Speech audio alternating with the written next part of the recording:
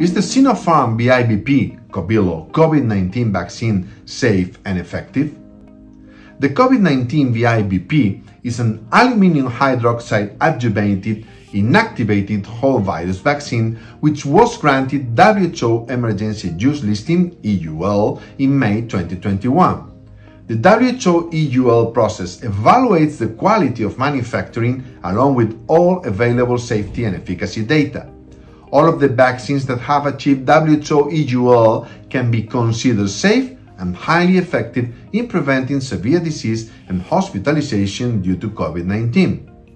Since receiving the WHO EUL, this vaccine has been administered to millions of people around the world and data from the field have been assessed in WHO updates of its interim guidance published in October 2021 and March 2022. For example, in Hungary, vaccine effectiveness in a large nationwide cohort, approximately 900,000 recipients of BIBP COVID-19 vaccine, was 69% against uh, SARS-CoV-2 infection and 88% uh, against COVID-19 related mortality. Sinopharm BIBP is intended for persons aged 18 years and older. The recommended primary vaccine series is two doses given intramuscularly into the deltoid muscle.